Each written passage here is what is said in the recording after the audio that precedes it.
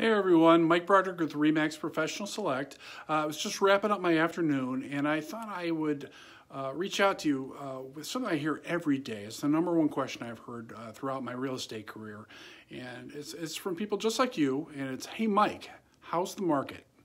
Um, which is a great question, but I think there's a, a better question that should be asked, and that is how does the market affect what I want to do?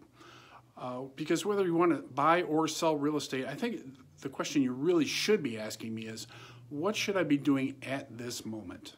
If I want to buy a house, what should I be doing? If I want to sell a house, what should I be doing? Um, in addition, I want to make sure that uh, if you're a client of mine, you've been checking your inbox. I did send out a report uh, that details, you know, how is the market and what are the kind of questions you should be asking. Um, if you have any additional questions or are not a client, would like to uh, uh, receive a copy of this report or discuss the market further, just DM me. I'm happy to have a conversation anytime about the market right now and how it affects what you want to get out of it. Uh, have a happy holiday, take care, and I hope to hear from you soon.